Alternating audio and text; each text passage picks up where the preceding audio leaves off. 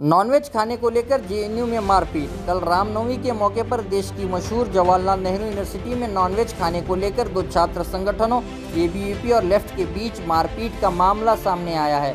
बताया जा रहा है कि इस झड़प में कई विद्यार्थी गंभीर रूप से घायल हुए हैं। सवाल खड़ा होता है कि देश का भविष्य अगर इस तरह वेज और नॉनवेज में बढ़ जाएगा तो देश की एकता और अखंडता का पालनहार कौन होगा? क्योंकि देश के नेताओं से एकता की उम्मीद लगाना तो अब बेमानी है। अब सभी विद्यार्थियों और देश की जनता को ही आगे आकर सदियों की गुलामी और लाखों लोगों की कुर्बानी के बाद हासिल हुई आज़ादी।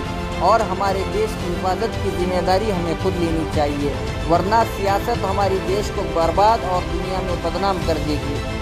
तो और खबरों के लिए देखते रहिए Avon news channel the face of trust